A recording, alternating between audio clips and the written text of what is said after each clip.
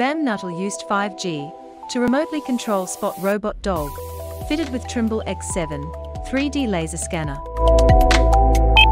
Google Bayview HQ campus, designed by Big and Heatherwick, is now open. Czech Republic becomes home to world's longest suspension footbridge, 721 meters long, Skybridge 721. Arup is appointed as technical advisor to world's first energy island project by Denmark. El Salvador plans to build a Bitcoin city designed by FR-EE beside a volcano. Google Maps can now provide views inside buildings using AI. Saint Gobain is pioneering zero carbon flat glass with newest product. Olous